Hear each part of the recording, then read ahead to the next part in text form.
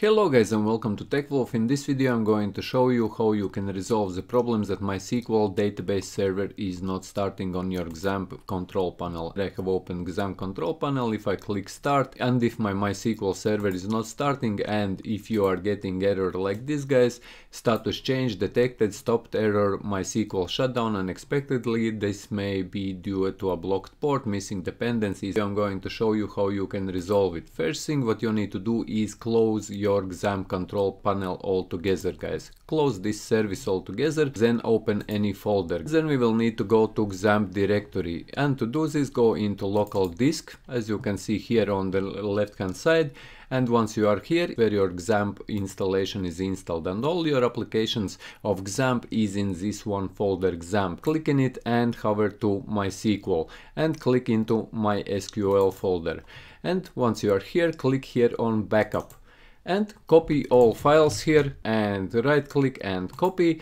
and then go back into MySQL folder.